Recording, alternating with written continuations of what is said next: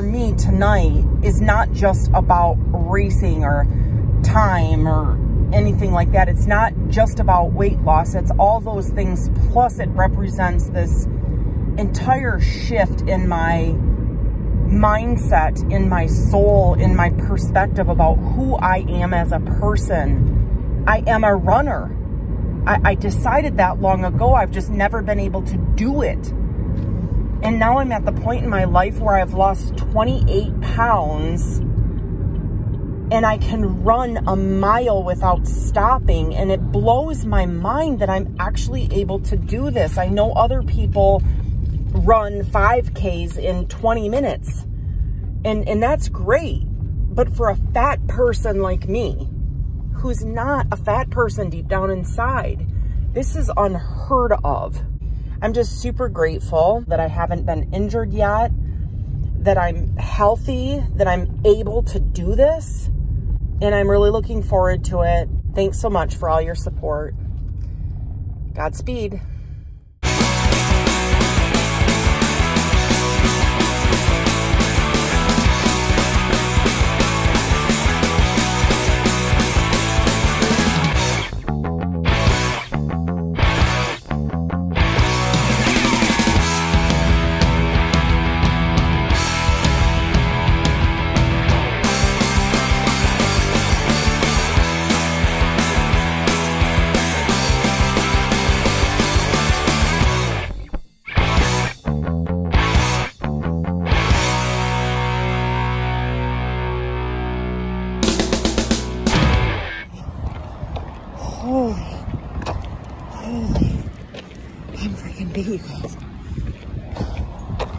Don't know how I did it. It is so freaking windy and it's like 46 degrees. Did I run that? 50 minutes. Love it. I didn't think I could do it. Thought it'd be an hour and 20 minutes. Holy crap. Proud of me. Man, need to kick some ass. Seriously.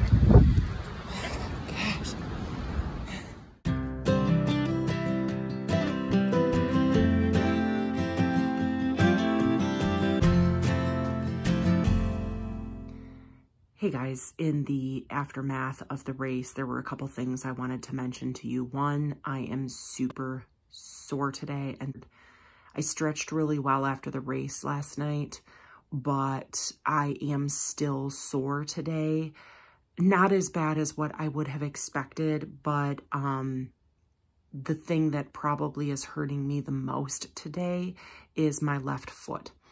And that is potentially because of the difference in the conditions that I was running in.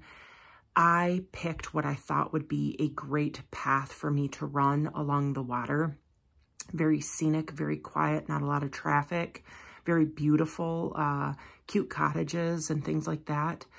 And what wound up happening is the road was in poor condition. The first third and the last third were pavement, decent conditions, runnable, um, no issues. But the middle third was in an area, a residential cottage type area where there was a lot of debris and gravel and sand and stuff left over from winter. As I've mentioned to you before, I live in a four season area of the US and the pavement breaks up from one season to the next. When the pavement expands and contracts, it breaks up and causes potholes. So there's that debris as well, unevenness. And because I was running along the water, the ground itself was uneven. So it was a difficult run, not like on the treadmill. And so my feet, my left foot in particular, um, and my left knee are a little bit more sore than what I would normally notice after running at the gym on a treadmill. But not to the point where it hurts to walk. Um, in fact, as soon as the rain stops this afternoon, my husband and I and my son are going to go on a bike ride. So, um, because it's supposed to be like super warm today. So, and we wait all winter for this kind of weather. I just got out of the shower. My hair's wet. So sorry about the appearance. Uh, the other thing I wanted to mention is I experienced chafing last night in areas that I never experienced before. Never. Never even thought of. I thought of and planned out my outfit very carefully yesterday too. But there was a 15 degree temperature difference and a roughly 10 to 15 mile per hour wind coming directly at me from where I live. This this was the difference between where I lived versus where I ran because I traveled a, a small distance to get to where I was going to run this route. And so not only was weather an issue, but these other things that I was not expecting, like the uneven pavement and the chewed up pavement. Um, I knew the whole course was paved, but I wasn't expecting like the conditions to be an issue or chafing to be an issue. And when I got home last night and changed, I actually discovered that I bled in some areas because the chafing was so bad that it rubbed my skin raw. And that floored me because I thought the outfit I was wearing was well thought out and I had never experienced chafing before. So I was quite surprised about that. So the other thing that I thought of and I wanted to mention is at the beginning of this video, I talk about my nerves and how incredibly upset my stomach was. I could not wrap my head around why I was feeling like that. And I came to the conclusion that it was adrenaline. You know, I was very excited to run my first race in several years. And as soon as my feet were hitting the pavement, those butterflies went away.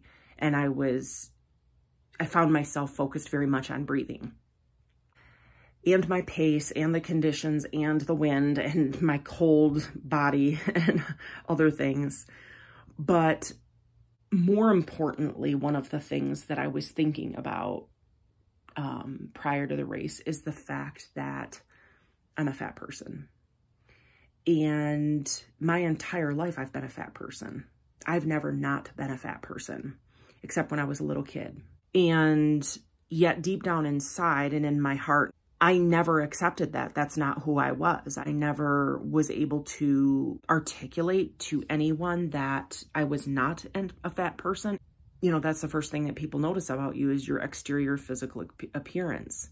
But inside, I never felt like a fat person. And so I've never been able to wrap my head around or accept that physically I was a fat person. And so whenever someone would take pictures of me or clothes wouldn't fit or when I would look in the mirror, something as simple as that, I it, it was like um, a shock to me. It was a surprise. And I don't think I'm alone in this. I think sometimes you know, we forget that we're fat. We forget that we're obese. We forget that we overeat, which causes us to be big, bigger than what we should, bigger than what our bodies are strong to carry. And I think that's the whole point of when I was mentioning a while ago about why would it be so different for me now versus in the past, why would I be able to succeed? And I believed, and I mentioned this in the prior videos, that the only way I'm able to succeed now is because I'm mentally and emotionally and spiritually strong and healthy. And, and that is what has changed. That's what's different this time around. And how that correlates is truth. Truth. Seeing and believing in what is in front of you and, and, and recognizing it for what it is. Not what you think it is, not what you feel it is, not what you believe it is, but what is. And the fact is, I had to get to the point where I looked myself in the mirror and, and, and said, something does not add up. I am a fat person. That, that person that's looking back at me is not who I am. It, it doesn't make sense. And that's the difference. I'm not who anybody else has said I am. All the labels that I have felt about myself my whole life, I finally learned are wrong and inaccurate and untrue. They're lies. And I'm not a fat person either. And so that's a lie too. So therefore, I'm not going to live as a fat person. Therefore, I'm going to be strong and fit and eat well. And because I'm not a fat person, that's not me. It's not me in my heart. It's not me in my soul. It's not me in my head. It's not the future I see for myself. It's not the future I see for my husband and I as a retired couple or grandparents if our boys wind up having kids. Um, it, it's just not in the cards. I am not a fat person. I think that's the ticker right there is that I have not wanted to and I have rejected that I'm a fat person, the truth that I'm a fat person and my whole life. And that's why the weight has never come off. I've never been able to stick with any sort of program or diet or to, to lose pounds because it was always for superficial reasons. It wasn't for any actual meaning. You know, it wasn't something that I correlated to self.